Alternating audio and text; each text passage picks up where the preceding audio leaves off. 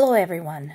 Attacks on Ukraine, specifically Ukraine's capital Kiev, and other civilian targets continue.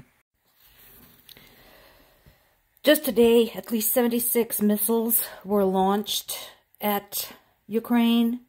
Um, the attacks were across the country, but like I said, um, this includes Kiev, which is interesting because Russian political pundits keep saying that Kiev is sacred. You know, there's some uh, holy relics, there's some sacred sites in Kiev, uh, but nevertheless, apparently, uh, Russian army has no trouble shelling it.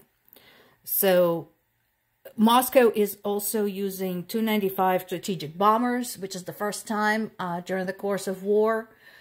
And again, anyone at this point who says, well, we shouldn't give Ukraine more sophisticated, more long-range weapons, just look at this. Look at what is happening right here, right now.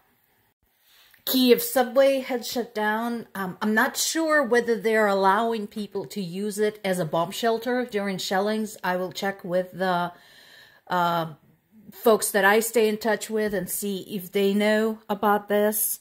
And uh, hospitals currently rely on backup generators uh, as they continue treating patients and conducting surgeries.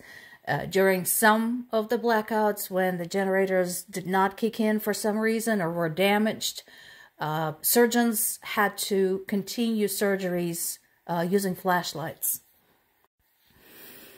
At least two people were killed and eight people injured in the uh, city of Kryvyi Rih, another civilian target attacked by the Russians.